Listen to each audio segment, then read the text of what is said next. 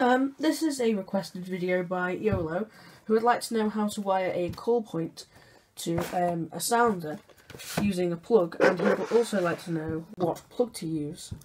Um, so,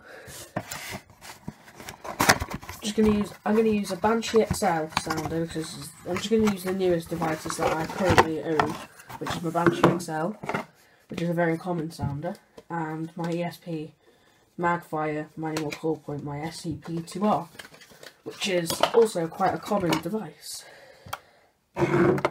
So, uh, I'll begin by um, taking the call point off. ah, by taking the call point off the um, back box, which I will do um, through the ah through the power of editing.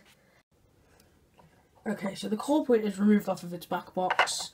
Back box is here. I'm just going to put it to one side. Um, so yeah, let's turn the call point around to um, see what terminals we need to um, use. Alright, so I've got a little circuit going on here. Um, the call point is uh, wired to the sounder using a 12 volt DC plug and um, the um, ampage on that is about 0.8 amps. But I think you can go up to about 2 amps and still be, and your sounder and call point should still be safe. Call points I think below at about 5 amps. Sound is probably about 3, I don't know. Um, if you, if you, if you don't know what I'm talking about, basically ampage is the amount of electricity, voltage is the power that the electricity is sent at, and um, the the plug that you will need if you're using a real fire alarm sounder is mostly a 12 volt plug at about 1 amp. So if, if you're buying a plug, basically you just type in 12 volt, 1 amp, and 1 amp is basically just 1A, um, and then just put power supply wall plug, and you should get some results. Um, just make sure that it's um, that version. It can be probably 24 volts as well, because depending on the voltage rating on your sounder, it should say. Yeah, mine says 10 to 28 volts, um, and yeah.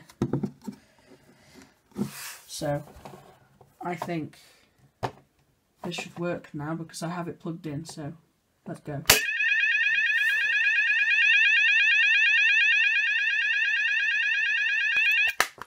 So yeah, you may have noticed that the LED didn't want to work on my call point.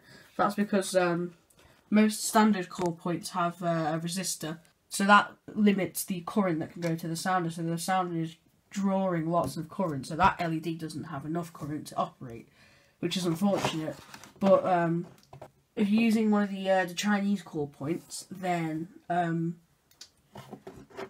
you don't need a resistor or anything, and that will make the sounder probably louder to not have a resistor in there because that doesn't resist the current.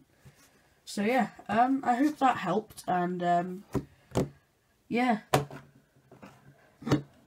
uh, let me know if you need any more help with uh, anything. It's it's um, it's a pleasure to um, to upload videos that that actually help people.